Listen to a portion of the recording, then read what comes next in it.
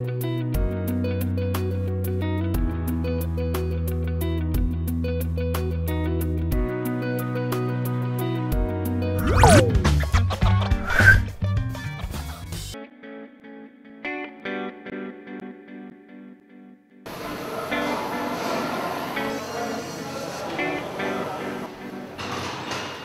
études de techniciens en installation des systèmes énergétiques et climatiques comportent cinq pôles.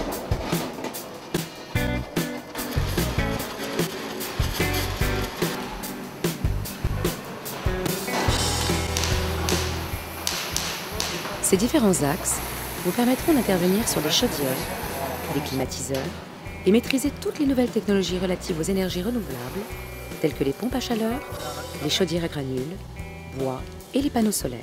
Pour